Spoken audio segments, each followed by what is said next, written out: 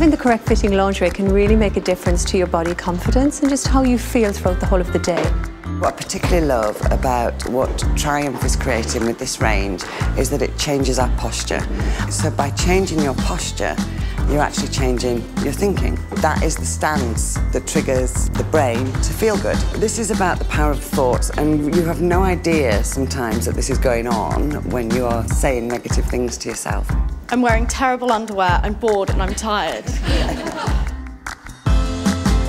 I'm confident, I'm strong, I'm sexy. Okay, cool. You're nice and strong. This is your catwalk moment. How would you be feeling at that moment? Close your eyes for a second and imagine that you are really feeling that. When you've got that picture really locked in, I'd like you to do the walk.